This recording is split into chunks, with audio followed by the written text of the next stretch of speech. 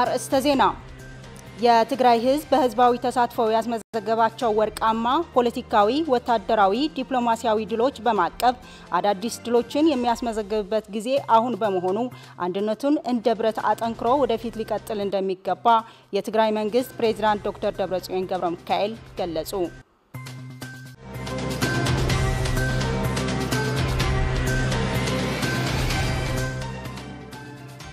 ዶክተር ቴድሮስ አድሓኖም በፋሺስት አብይና ደጋፊዎቹ በተቀናጀ መንገድ የሚፈጸምባቸው መሰረት የሌለው ውንጀላ ወደ ጎን በመተው ሰብአዊነትን ማገልገል አጠንክረው እንዲቀጥሉበት የትግራይ መንግስት ጥሪ አቀረበ።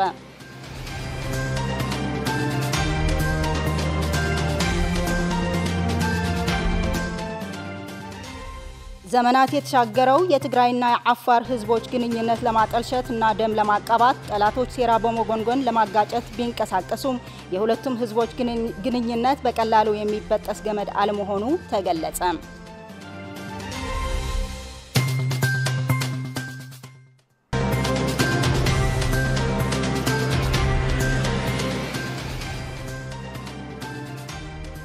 ጤና ይስጥልኝ ተመልካቾቻችን፣ የሰዓቱ ዜናዎች ይዘን ቀርበናል። ከሰዓቱ ዜናዎች ጋር ማዕድ ኃይለ። በቅድሚያ የትግራይ ህዝብ በህዝባዊ ተሳትፎ ያስመዘገባቸው ወርቃማ ፖለቲካዊ፣ ወታደራዊ፣ ዲፕሎማሲያዊ ድሎች በማቀብ አዳዲስ ድሎችን የሚያስመዘግብበት ጊዜ አሁን በመሆኑ አንድነቱን እንደ ብረት አጠንክሮ ወደፊት ሊቀጥል እንደሚገባ የትግራይ መንግስት ፕሬዚዳንት ዶክተር ደብረጽዮን ገብረ ሚካኤል ገለጹ። ዶክተር ደብረጽዮን ይህንን የገለጹት ስድስተኛ ዘመን ሶስተኛ መደበኛ የትግራይ ምክር ቤት ጉባኤ ላይ ነው። ዶክተር ደብረጽዮን አክለውም የትግራይ መንግስት በስመ ግጭት ማቆም ከበባውና ክልከላው እንዲቀጥል እንደማይፈቅድ የዓለም ማህበረሰብ ሊገነዘብ ይገባል ብለዋል። የሀፍታይ ባህረ ዘገባ ዊንታ ዘላለም ታቀርበዋለች።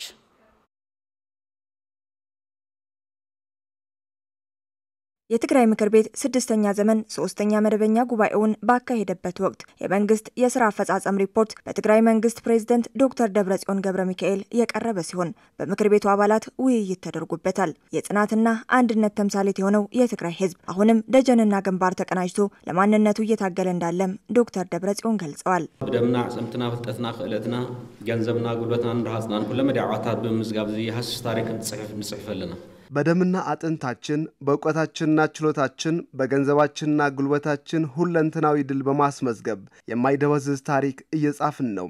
በቀጣይም ይህንን እንደምናረጋግጥ ከደመኛ ጠላቶቻችን ውጪ ወዳጅና የትግል ደጋፊዎቻችን ፈጽሞ አይጠራጠሩም። ስለሆነም ህዝባችን ጠላቶቻችን በፈጸሙት ግፍ ይበልጥ ወኔና ቁጭት ሰንቆም ወደ ትግል በመግባት ጠላቶቻችን መክቶና አሁንም እየመከተ ይገኛል። ህዝባችን ባለበት ሁሉ ባለ ዓላማ ጽናት መሆኑን ደጋግሞ አረጋግጠዋል። በቀጣይም እንደምናረጋግጠው የትግራይ ህዝብና መንግስት ጠላቶቹን በክንዱ እንደሚደመስስ አሳይተዋል። ዓለም እንዲደነቅ አድርገዋል። በአጠቃላይ ህዝባችን የሁሉም ድሎቻችን ምንጭ ነው።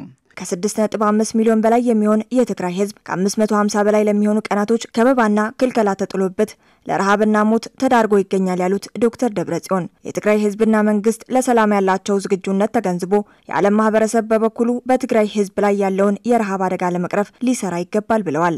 መንግስት ትግራይ ኩሉ ዓመታቱ አዋዲዱን ስኑ ነኺሱን የትግራይ መንግስት ሁሉም አቅሙን አቀናጅቶ ጥርሱን ነቅሶ አስፈላጊውን የሰብአዊ እርዳታ እንዲገባም እስከ መጨረሻ ሰዓት አስፈላጊውን ጫናና ጥረት ያደርጋል። ካልሆነ ግን የትግራይ መንግስት በስመ ጊዜያዊ ግጭት ማቆም ከበባና ክልከላው እንዲቀጥል እንደማይፈቅድ ወዳጅም ሆነ ጠላት በተለይም የዓለም ማህበረሰብ በድጋሚ ሊያሳውቅ ይወዳል። ስለዚህ በዓለም ድንጋጌዎች መሰረት ኃላፊነትና ግዴታ ያለበት የዓለም ማህበረሰብ በትግራይ ከ550 በላይ ቀናቶች ያስቆጠረው ከበባና ክልከላም እንዲከፈት የተቋረጡት ህዝባዊ አገልግሎቶች ስራቸው እንዲጀምሩ ጫና እንዲያደርግ የትግራይ መንግስት ጥሪውን ያስተላልፋል።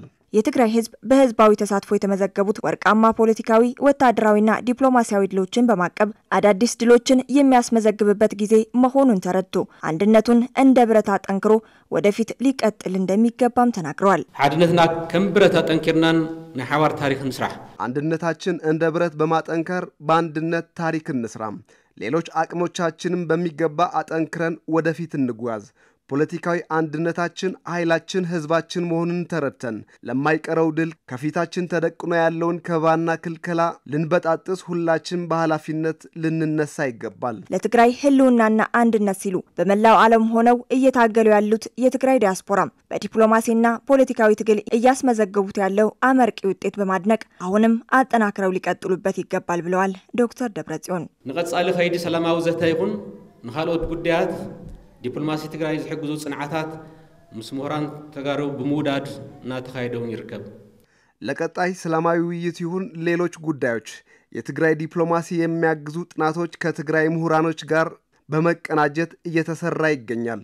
ባለፉት አራት ወራቶች ሰለቸኝ ደከመኝ በማይለው የትግራይ አምባሳደር በሆነው የትግራይ ዳያስፖራ አውሮፓና ሰሜን አሜሪካ በአጠቃላይ ከተለያዩ የዓለም ክፍሎች ሰላማዊ ሰልፎች ተካሂደዋል። ለህዝብ ድጋፍ የሚሆኑ የገቢ ማሰባሰቢያዎችንም ተካሂደዋል። የትግራይ መንግሥት በገባው ቃል መሠረት የትግራይ ዳያስፖራ ላደረገው ድጋፍ የምስጋናና ዕውቅና የምስክር ወረቀት ተሰጥቷል። አሁንም እየቀጠለ ነው ያለው። የትግራይ ህዝብ ለኤርትራ ህዝብ ነጻነት በሳሕል ናቅፋና ሌሎች አካባቢዎች ላይ መስዋዕትነት ከፍለዋል ሲሉ የትግራይ መንግስት ፕሬዚዳንት ዶክተር ደብረጽዮን ገብረ ሚካኤል ገለጹ። ዶክተር ደብረጽዮን በትግራይ ምክር ቤት ላይ ባደረጉት ንግግር የትግራይ ህዝብና መንግስት ችግሩ በትግራይ ህዝብ ላይ genocide ወንጀል ከፈጸመው አምባገነኑ ኢሳያስ አፈወርቅ እንጂ ከወንድም የኤርትራ ህዝብ ጋር አይደለም ብለዋል።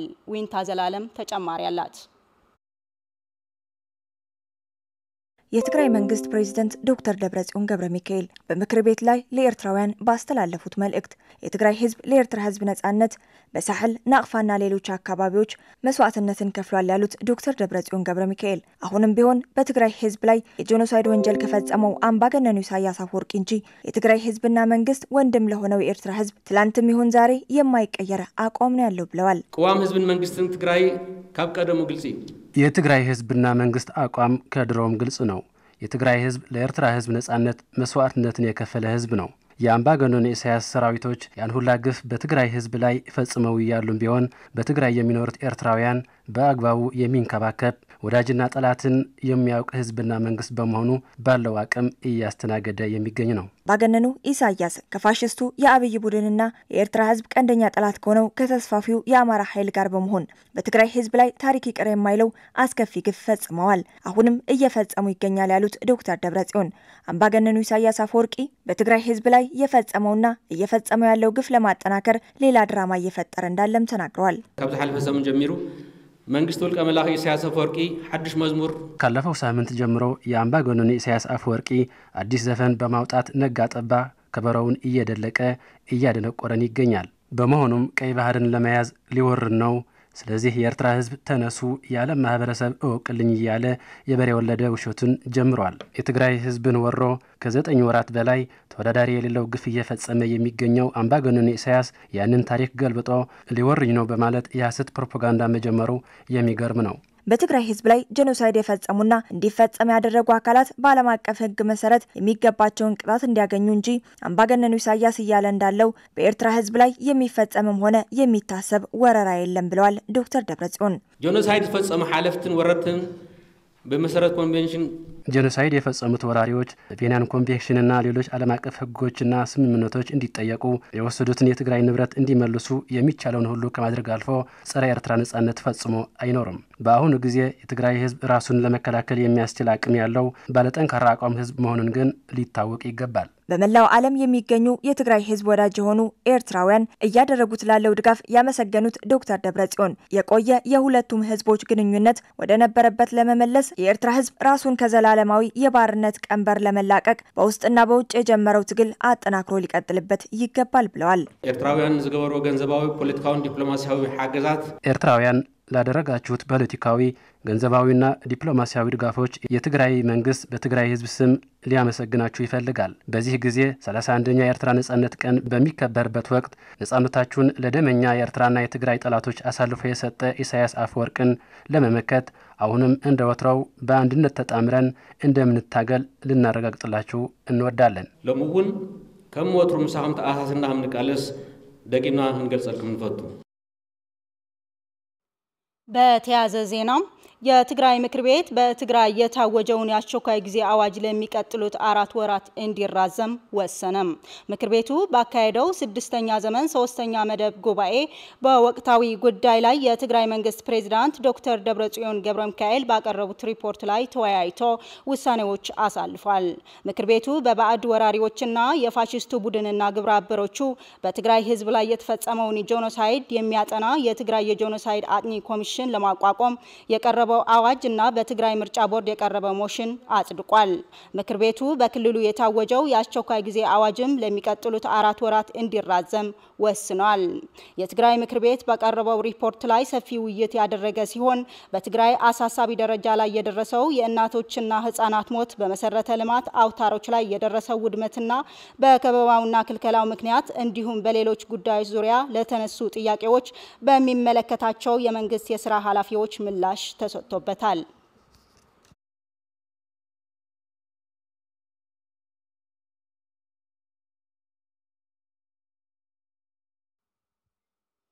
የዓለም ጤና ድርጅት ዋና ዳይሬክተር በመሆን ዳግም የተመረጡት ዶክተር ቴድሮስ አድሓኖም በፋሽስት አብይና ደጋፊዎቹ በተቀናጀ መንገድ የሚፈጸምባቸው መሰረት የሌለው ውንጀላ ወደ ጎን በመተው ሰብአዊነት ማገልገል አጠንክረው እንዲቀጥሉበት የትግራይ ውጭ ጉዳይ ጽህፈት ቤት ጥሪ አቀረበም። ጽህፈት ቤቱ ዶክተር ቴድሮስ አድሓኖም የዓለም ጤና ድርጅት ዋና ዳይሬክተር ሁነው ድጋሜ በመመረጣቸው የተሰማውን ልባዊ ደስታ ገልጸዋል። መግለጫው መብራቱ ይባልህ ተመልክቶታል ሙሉ ብርሃን ዳርጌ ታቀርበዋለች። የትግራይ መንግስት ውጭ ጉዳይ ጽሕፈት ቤት በላከው የደስታ መግለጫ እንዳስታወቀው ዶክተር ቴድሮስ አድሓኖም የዓለም ጤና ድርጅት ዋና ዳይሬክተር ሆነው ድጋሚ እንዲመረጡ ያስቻላቸው በመጀመሪያ ዙር የስልጣን ዘመናቸው ብቁና ዓለም አቀፍ ተቀባይነት ያለው አመራር በመስራታቸው ነው ብሏል። ዶክተር ቴድሮስ ለሰብአዊነት ያላቸው ድጋፍ የጀመሩት የትግራይ ጤና ቢሮ ኃላፊ፣ የጤና ጥበቃና የውጭ ጉዳይ ሚኒስቴር ሚኒስትር ከነበሩበት ጊዜ አንስቶ ነው ያለው መግለጫው። በስልጣን ዘመናቸው ለህዝባቸው በብቃትና በቅንነት ሙያዊ ኃላፊነት በተሞላበት አገልግለዋል ብሏል። የጤና ጥበቃ ሚኒስትር በነበሩበት ወቅት በኢትዮጵያ መሰረታዊ ለውጥና እድገት ያመጣ የጤና ስርዓት በመዘርጋት ተጠቃሽ ስራ ማከናወናቸውን መግለጫው አመልክቷል። በኢትዮጵያ ለሚሊዮኖች የሚዳረስ የጤና ስርዓት እንዲዘረጋ ኢትዮጵያን ለመገንባት የሚያስችሉ የጤና መሰረተ ልማቶችና ኢንቨስትመንት እንዲኖር ያለመታከት የሰሩ መሆናቸውን መግለጫው አክሏል። ዶክተር ቴድሮስ በማደግ ላይ የሚገኙ በቢሊዮኖች የሚቆጠሩ ህዝቦችን ድምጽ በመሆን ዓለም አቀፍ ግፊቶችና ተጽዕኖዎችን በመቋቋም ወሳኝ ሀሳቦችን ለዓለም ማህበረሰብ በማጋራትና የኮሮና ወረርሽኝን ለመከላከል ሀያላን ሀገራት በማሳመን በቅንነት ያደረጉትን ጥረት ዓለም አቀፍ እውቅና አስገኝቶላቸዋል ብሏል መግለጫው። ከዚህ በተቃራኒ ዶክተር ቴድሮስ አድሓኖም የትግራይ ተወላጅ በመሆናቸው ብቻ በፋሽስት የአብይ መንግስትና ደጋፊዎቹ ባልሆነ መንገድ ስም የማጉደፍ ዘመቻ እንደተፈጸመባቸው አውስተዋል። የዶክተር ቴድሮስ ክብር የሚነካና የተሰጣቸውን ዓለም አቀፍ ህጋዊ ስልጣን መሰረት በሌለው ስም የማጠልሸትና የእንቅፋት ዘመቻ አሁንም መቀጠሉን መግለጫው አመልክቷል። መሰረት የሌለው ውንጀላ ወደ ጎን በመተው ያለ ቀለም፣ ሃይማኖት፣ ቦታና ከባቢያዊ ልዩነት ለሰብአዊነት ማገልገል አጠናክረው እንደቀጠሉበት የትግራይ መንግስት የውጭ ጉዳይ ቢሮ ባወጣው መግለጫ አቅርቧል። ዶክተር ቴድሮስ አድሓኖም የሰው ችግር እንደ ራስ በማየት በመልካም ስነ ምግባር እየሰሩ ሲሆን ይህ ደግሞ ዳይሬክተሩ የዓለም ዜጋ ተቆርቋሪ Pan Africanist ኩሩ ትግራዋይ መሆናቸውን አረጋግጧል ብሏል መግለጫው። የብሪታንያ መንግስት በትግራይ ህዝብ ላይ የጦር ወንጀል የሚስተካከል ግፍ የፈጸሙ የአምባገነኑ የኢሳያስ ወታደሮች በፍጥነት ከኢትዮጵያ ለቀው እንዲወጡ አሳሰበም። የምክር ቤቱ አባል ዴቪድ አልቶን በትግራይና በፋሽስቱ የአብይ ቡድን መካከል ለሰብአዊነት ሲባል የተደረሰው የግጭት ማቆም ውሳኔ ተከትሎ ወደ ላቀ ደረጃ ለማሳደግና የአምባገነኑ ኢሳያስ ቅጥረኛ ወታደሮች ለኢትዮጵያን ለቀው እንዲወጡ የብሪታንያ መንግስት ምን እየሰራ እንደሆነ ማብራሪያ ጠይቋል ጠይቀዋል። ዴቪድ አልቶን ላቀረቡት ጥያቄ ምላሽ የሰጡት የታችኛው ምክር ቤት የውጭና ልማት office አባል ጎልድ ሲሚዝ እንዳሉት የትግራይ መንግስትና ፋሽስቱ የአብይ መንግስት ለሰብአዊነት ሲባል ያደረጉት ግጭትን የማቆም ውሳኔ የሚበረታታ ነው። የአምባገነኑ ኢሳያስ ወታደሮች በትግራይ ህዝብ ላይ የፈጸሙት ሰብአዊ ጥሰት የጦር ወንጀል የሚስተካከል መሆኑንና በፍጥነት ኢትዮጵያን ለቀው እንዲወጡ የብሪታንያ መንግስት ማሳሰቡን ገልጸዋል። የብሪታንያ መንግስት ከትግራይ መንግስት ከአፋርና ከፋሽስት የአብይ ቡድን ጋር በመሆን በጦርነት ለተጎዱ አካባቢዎች ያልተገደበ እርዳታ እንዲገባና ዘላቂ ሰላምና ደህንነት እንዲመጣ እየሰራ ነው ብለዋል።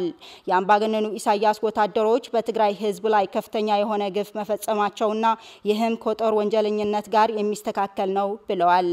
አስመራ ላይ የሚገኘው የብሪታንያ ኤምባሲ የኤርትራ ወታደሮች ኢትዮጵያን ለቀው እንዲወጡ ለአምባገነኑ ኢሳያስ አጽንኦት ሰጥቶ እንደተናገረው ተገልጿል።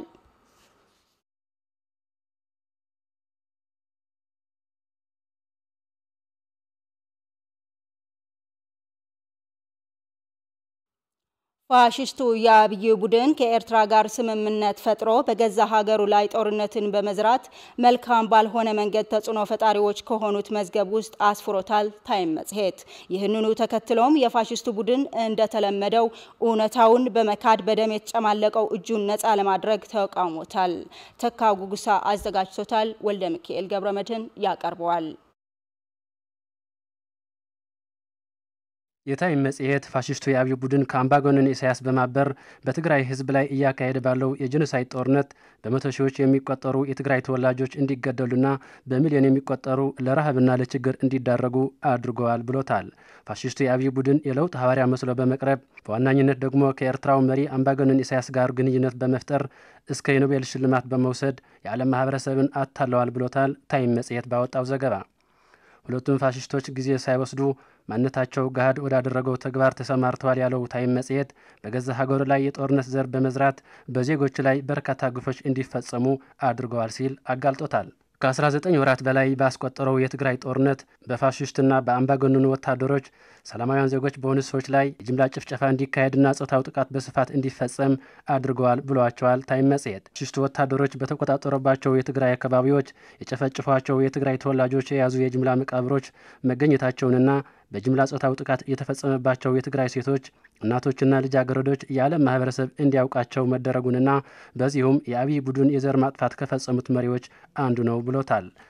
የፋሽስቱ ቡድን በዚህ ተግባሩ ሳይገታ ሰብአዊ እርዳታ ወደ ትግራይ እንዳይገባ በርካታ መሰናክሎችን በመፍጠር ከዓለም ማህበረሰብ የደረሰበት ያለውን ተጽዕኖ ከቁብ ሳይቆጥር የትግራይ ሕዝብ ለከፋ ረሃብ እንዲዳረግ እያደረገ መሆኑን መጽሔቱ ባወጣው ዘገባ አስነብበዋል።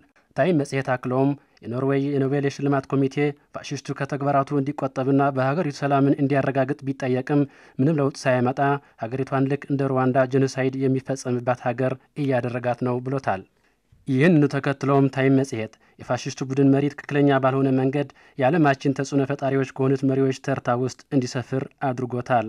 ይህም መጽሔቱ ከአንድ ወቅት በመጥፎ ገጽታ የጣሊያኑ የፋሽስት ሙሶሊኒን በፋሽስታዊ ተግባሩ ከተጽዕኖ ፈጣሪዎች ተርታ እንዳሰፈረ ሁሉ የዘመናችን የፋሽስት መሪ የሆነው አብይም በጄኖሳይድ ተግባሩ ታይም መጽሔት ከሙሶሊኒ ተርታ አስፍሮታል።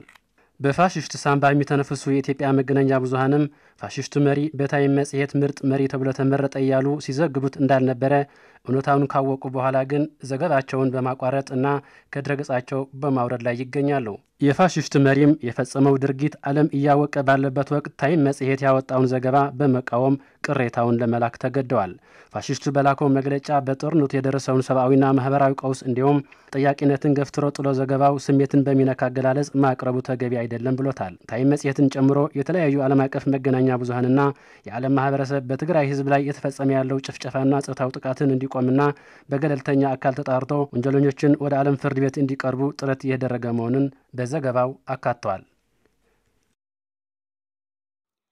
ዘመናት የተሻገረው የትግራይና የአፋር ህዝቦች ግንኙነት ለማጠልሸትና ደም ለማቀባት ጠላቶች ሴራ በመጎንጎን ለማጋጨት ቢንቀሳቀሱም የሁለቱም ህዝቦች ግንኙነት በቀላሉ የሚበጠስ ገመድ አለመሆኑ ተገለጸም። የሁለቱ ህዝቦችን ግንኙነት ለማጠናከርና አብሮ ለመታገል የሚያስችል የጋራ የውይይት መድረክ ተካሂደዋል። ማዕዛ መኮንን አዘጋጅተዋለች። የትግራይና የአፋር ህዝቦች ላለፉት ዘመናት ያቆዩትን መከባበርና አብሮነት አሁንም በማጠናከር በተለያዩ ጊዜያት ስለ አካባቢያቸው ሰላም፣ ጸጥታና ደህንነት በመወያየት መፍትሄዎችን በማስቀመጥ ግንኙነታቸው ከወትሮ በተለየ ሁኔታ የጋራ ጠላታቸውን ለመመከት የሚያስችላቸውን ሁሉ ያከናውናሉ። የትግራይ ህዝብ የምንጊዜም የትግል አጋሩ የሆነው የአፋር ህዝብ የውጭና የውስጥ ወራሪ ኃይሎችን በመመከት ከፍተኛ መስዋዕትነት በመክፈል ከትግራይ ህዝብ ጋር ትልቅ የታሪክ ትስስር ያለው ህዝብ መሆኑ የሁለቱ ህዝቦች ግንኙነት ለማጠናከር በሚያስችል የጋራ የውይይት መድረክ ላይ ተገልጿል። አንጋረዋ አልዑሂና ቡከባከ መልሕና ቡክሉክ ሱግኔ ኔካ የሁለታችንም ህዝቦች ግንኙነት አሁን የተጀመረ አይደለም። ከትውልድ ወደ ትውልድ እየተሸጋገረ የመጣ መልካም ግንኙነት ነው ያለን። የእነሱ ቤት ቤታችን ነው። በሐዘንም በደስታም በተለያዩ የሥራ ግንኙነቶች ልዩነት የለንም። አንድ ነን። ከወዳጃችን የትግራይ ህዝብ ጋር መጣላት ውርደትና ትንሽነት እንጂ የሚመጣ አንዳች ጥቅም የለም። የትግራይ ህዝብና የአፋር ህዝብ ወንድማማች ህዝቦች ነን። ልዩነት የሌለን አንድ ህዝቦች ነን። ኣብዚ ሕዚ እውን ቀንዲ እንተሓላለእና ዘለና የትግራይ ህዝብና የአፋር ህዝብ እንደ ከዚህ ቀደም በመተጋገዝ ነው እየኖርን ያለ ነው። ፋሽስቶች በሚያደርጉት እንቅስቃሴ ግንኙነታችን አልሻከረም። ጠላት የአፋር መሬትን በኃይል በመያዝ የአፋርን ህዝብ ቢጨቁንም የአፋር ህዝብ ፍላጎት ከትግራይ ህዝብ ጎን መሆን ነው። ትግራይ ሕማቅ የትግራይ ህዝብ ጥሩውንና መጥፎውን ለይቶ የሚሄድ አስተዋይ ህዝብ ነው። እናም የትግራይ ህዝብና የአፋር ህዝብ ግንኙነታችን ጠንካራ ነው። ይህም ይቀጥላል። ዓፋርን ትግራይን ግን አውራጃና ብሓደ አውራጃ ለክትያ ወረዳና ብሓደ እኛ የአፋርና የትግራይ ህዝቦች ወሰንና አስተዳደር ሳይለየን አንድ ሆነን ነው የመጣ ነው። ልዩነት የለንም። ታሪካዊ ግንኙነታችንም መልካም ነው። ይህ ነው እስካሁን ያቆየን። እሱ እውን የሻው ጠጠው ቢልና ዘሎ ይህ ዘመናትን የተሻገረ የሁለቱም ህዝቦች ግንኙነት ለማጠልሸትና ደም ለማቃባት ጠላቶች ሴራ በመጎንጎን ለማጋጨት እየተንቀሳቀሱ መሆኑ በውይይት መድረኩ ላይ ተገልጿል። ቢሆንም ግን የትግራይና የአፋር ህዝብ ግንኙነት በቀላሉ የሚበጠስ ገመድ ስላልሆነ ግንኙነታቸውን ለማቋረጥ እየጣሩ ያሉትን ኃይሎች በአብሮነት በመታገል ግንኙነታቸውን ለማጠናከር እንደሚሰሩም በውይይቱ ላይ ተናግረዋል። ሕጓነ ክኒኖ ቲተዳኒስና ላሕነካ ገሌ አሁንም ቢሆን ወንድማማቾችና ጥሩ ጎረቤታማቾች ነን። ተረዳተንና እየተጋገዝን ግንኙነታችን እናስቀጥለዋለን። የሁለቱም ህዝቦች ግንኙነት ዛሬም ሆነ ነገ አይቋረጥም። እኛም ከወላጆቻችን የተረከብነውን ባህላዊ ውርስ ነው ለልጆቻችንም እናወርሳቸዋለን። አውዚ ከዚ ቃል እኒና አሁን ትግል ውስጥ ነው ያለ ነው። ሰላም የምንፈልግ እየታገልን ነው። ሰላም የማይፈልጉም ጽንፍ ይዘው እየተጓዝ ነው። ማን አሸናፊ እንደሚሆን እናየዋለን። ሕዚ እውን ምክርና ዘተና ብሓደ ኮይና የአሁን ውይይታችንም በአንድ ሆነን በመተባበር ጠላት ለመደምሰስና የአፋር ህዝብ ሉዓላዊነታችን የምናስጠብቅበት ሁኔታ ተፈጥሮ እያለ ሌላ ስርዓት አንፈልግም ብሎ እየጠየቀ ነው ያለው። ሰሚም አላገኘም። እኛ ሁለታችንም ኩታ ገጠም ነን እና ይህን ለማስቀጠልም አጠንክረን እንሰራለን። በመድረኩ ላይ የተገኙት የሁለቱም ህዝቦች የመንግስት የስራ ኃላፊዎችና የሰራዊት አመራሮች በበኩላቸው የሁለቱን ህዝቦች የጋራ ጠላት የሆነውን የፋሽስቱ ቡድን በጋራ በመታገል የሁለቱም ህዝቦች ጥቅምና ሰላም ማስቀጠል ተገቢ መሆኑም ተናግረዋል። ሕጂ እውን ተሓጋግና ተደጋጊፍና አሁንም ቢሆን ተባብረን ከዚህ በፊት በጋራ ስንታገል እንደነበር ነው ሁሉ ጠላትን ለማጥፋት ካልታገልን ወደ አደጋ ነው የምንወድቀው። ስለሆነም በጋራ መታገል ያስፈልገናል። እስኒ ኬና ይድኩም ውሳና ኬኔ ገበሩ ታናን ፈዲንታ ሁለቱም ህዝቦች እጅ ለእጅ በመያያዝ መታገል ያስፈልጋል። እኛም ትግላችን አጠናክረን ጠላት ለማጥፋት እየታገልን እንገኛለን። ሰላም እዚ ንክልቲኡ ህዝቢ ዝጠቅም እዩ። ሰላም ለሁለቱም ህዝቦች ጠቃሚ ነው። ሰላም ከሌለ መኖር አንችልም። የትግራይ ህዝብ እየተጨፈጨፈና እየተራበ ነው። ጦርነት አይፈልግም። ሰላም ፈላጊ ነው። ስለሆነም ለሰላም ሲባል መተባበር አለብን። አግዙን፣ እናግዛቸዋለን። ዜናዎቻችን ይቀጥላሉ። ውስጣዊና አካባቢያዊ ነውጦችን በማቀጣጠል የሚታወቁት የኤርትራው አምባገነን መሪ የኤርትራ የነጻነት ቀንን ምክንያት በማድረግ ያሰሙት ንግግር ሁሉንም የሀገሪቱ ችግር ውጫዊ ነው ሲሉ መደመጣቸው አግራሞትን ፈጥሯል። አምባገነኑ ኢሳያስ አክለውም በአስከፊ አፈናና ስደት የምትታወቀውን ሀገራቸው ነውጥና ኢኮኖሚያዊ ቀውስ የሚታይባት ዓለምን ለመቀየር የኤርትራ ሕዝብ ካለፉት ዓመታት የትጥቅ ትግሉ ተሞክሮ በመማር አሁንም ትግሉን እንዲያ እንዲያጠናክር ሲሉም ተደምጧል። ኤርትራ የነጻነት በዓሏን ዓለም ነውጥ ላይ በምትገኝበት ሁኔታ ላይ እያከበረች ትገኛለች ሲሉም ነው የገለጹት። አማረ ኢታይ አዘጋጅቶታል። ሄለን ወልደ ዮሐንስ ታቀርበዋለች። ሁሌም የጦረኝነትና ጀብረኝነት ባህሪ የማይለያቸው የኤርትራው ፕሬዝዳንት አምባገነኑ ኢሳያስ አፈወርቂ ከወትሮው ባህሪያቸው ባልተለየ ሁኔታ ጦርነትን በመስበክ ከሀገራቸው ጉዳይ ይልቅ ዓለም አቀፋዊና ቀጠናዊ ሁኔታዎችን በመተንተን ተጠምደው ውለዋል።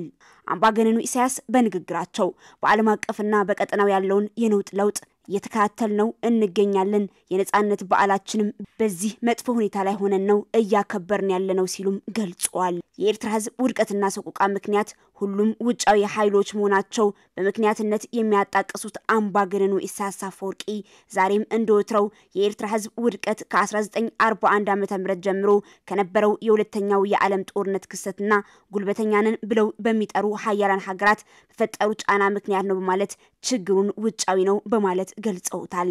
በዚህ ችግርም የኤርትራ ነጻነትና ሉዓላዊነት ተፈጥሯዊ መስመሩ ይዞ እንዳይጓዝ በልዕለ ሀገራቱ ጫና በመስተጓጎሉ የኤርትራ ህዝብ ፍላጎት ሳይሳካ መቅረቱን አመላክተዋል። ዛሬም ቢሆን ዓለማችን ተለዋዋጭ ወታደራዊ፣ ፖለቲካዊ፣ ባህላዊና ማህበራዊ ሂደት የሚታይባት ነች ያሉት አምባገነኑ ኢሳያስ ለግል ስልጣናቸው ሲሉ ራሳቸው ነጻነቱን የነፈጉት የኤርትራ ህዝብ ነጻነቱን በሌላ አካል እንደተነጠቀ በማስመሰል ሀፍረት ሳይሰማቸው የተለመደ ዲስኩራቸውን በአደባባይ አሰምተዋል። የአቤን ለምዬ እንደሚባለው ባለፉት ሰላሳ ዓመታት በኤርትራ ህዝብ ላይ የተጫነው ድህነት የመሰረተ ልማት እጦትና የድንበር ግጭቶች ምንጭ የሌሎች ውጫዊ ኃይሎች ጫና ነው ሲሉ ጥፋታቸውን ሲከላከሉ በአደባባይ ታይቷል። አምባገነኑ ኢሳያስ ባህራት ዕብለላ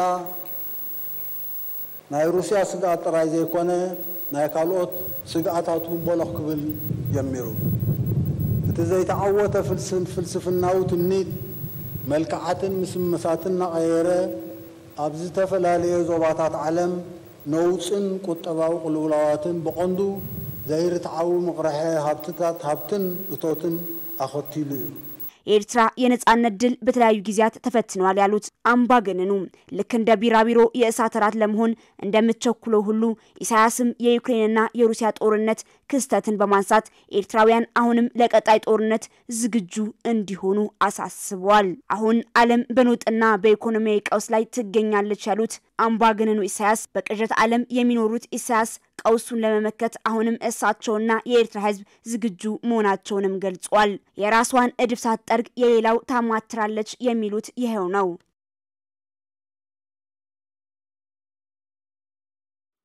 በመጨረሻም ከ31 ዓመታት በፊት በፌስታና ደስታ ሳቅና እልልታ በተሞላበት ስሜት ነጻነትን የተጎናጸፈችው ኤርትራ ዛሬ ላይ ህዝቧ በድህነት ማቆ አንገቷን አቀርቅሮ ወደ ባርነት እየተጓዘ እንደሚገኝ በርካቶች ይገልጻሉ። ብዙዎች ተስፋ የጣሉባት ሀገር ከነጻነት እድሜዋ እኩል በጦርነት እንድትማቀቅ በአምባገነኑ ኢሳያስ የጥፋት መንገድ ተፈርዶባታል። አዲስቷን ሀገር በጊዜያዊነት ለማስተዳደር በትረ ስልጣን ተረክቦ እያደረ ግን እንደ ግል ድርጅቱ የሚያሽከረክራት አምባገነኑ ኢሳያስ የጥፋት እጆቹን ኤርትራውያን ከማጓሳቆል አልፎ ምስራቅ አፍሪካን በማተራመስ ጉልህ ሚና እየተጫወተም ይገኛል። ይህ ብቻ አይደለም። ለነጻነት እልፍ ዋጋ በከፈሉላት ሀገር ኤርትራውያን ዜጎችም ባርነት ተፈርዶባቸዋል። በሰው ንግድ ላይ የተመሰረተ የአምባገነኑ ኢሳያስ የስልጣን ኳርቻና የኤርትራ ህልውና ወዴት እያመራ ይሆን? ሄለን ወድለያንስ ትንታኔ ዜና አላት። የዛሬ 31 ዓመታት በፊት ፌስታና ደስታ እልልታና ሲቃ ተፈራርቆባት ብዙዎችም ተስፋ የጣሉባት ሀገር ከነጻነት እድሜዋ እኩል በጦርነት እንድትማቀቅ ተፈርዶባታል።